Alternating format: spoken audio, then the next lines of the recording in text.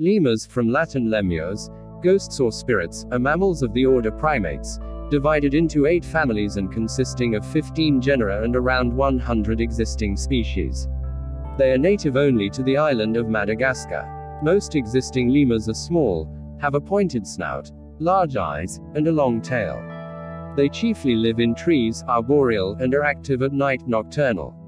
Lemurs share resemblance with other primates, but evolved independently from monkeys and apes.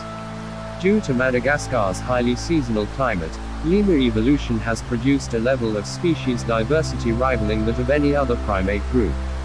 Until shortly after humans arrived on the island around 2,000 years ago, there were lemurs as large as a male gorilla. Most species have been discovered or promoted to full species status since the 1990s. However, lemur taxonomic classification is controversial and depends on which species concept is used. Lemurs range in weight from the 30 gram, 1.